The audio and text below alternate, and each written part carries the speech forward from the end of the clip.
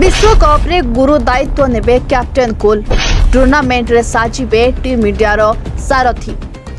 କେବଳ ଭାରତର ନୁହେଁ ସାରା ବିଶ୍ୱର ସର୍ବଶ୍ରେଷ୍ଠ ଅଧିନାୟକମାନଙ୍କ ଭିତରେ ଖୁବ୍ ଆଗରେ ରହିଛନ୍ତି କ୍ୟାପ୍ଟେନ୍ କୁଲ୍ ମାହି মহেন্দ্র সিং ধোনি নেতৃত্বে টিম ইন্ডিয়া আইসিসির সমস্ত ট্রফি উপরে কব্জা করেছে তবে সে অধিনায়ক পদ ছাড়া পরঠার ভারত ট্রফি জিতবার বারম্বার বিফল হয়েছে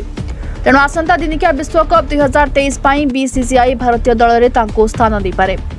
आसम् अक्टोबर नभेम्बरले लाग्यो क्रिकेटर क्रिकेट र महाकुम्भ तथा दिनिकिया विश्वकप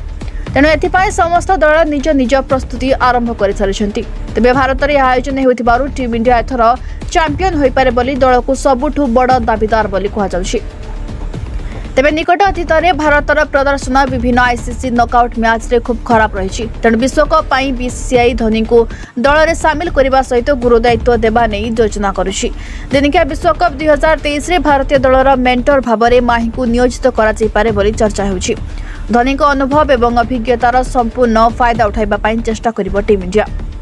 ଏହା ପୂର୍ବରୁ ସେ ଦୁଇ ହଜାର ଏକୋଇଶ ଟି ଟ୍ୱେଣ୍ଟି ବିଶ୍ୱକପ୍ରେ ଦଳର ମେଣ୍ଟର ଭାବରେ ରହିସାରିଛନ୍ତି କ୍ୟାପ୍ଟେନ୍ କୁଲ୍ ମାହିଙ୍କ ନେତୃତ୍ୱରେ ଭାରତ ପ୍ରଥମେ ଦୁଇ ହଜାର ସାତ ଟି ଟ୍ୱେଣ୍ଟି ବିଶ୍ୱକପ୍ ଉପରେ କବ୍ଜା କରିଥିଲା